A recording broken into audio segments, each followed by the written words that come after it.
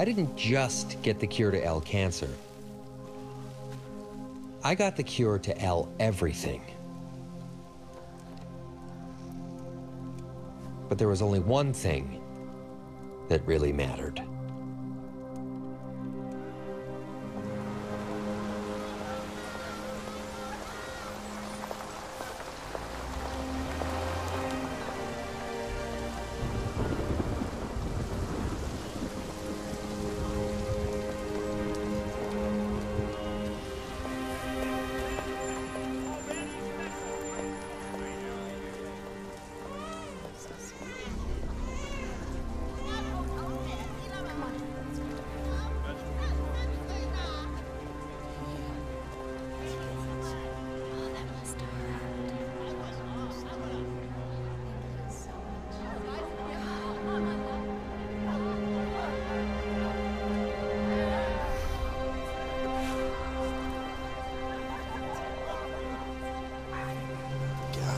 No.